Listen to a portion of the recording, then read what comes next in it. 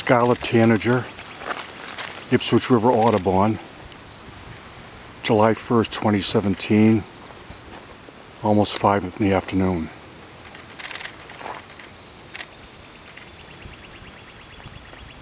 Oh, we need the sun.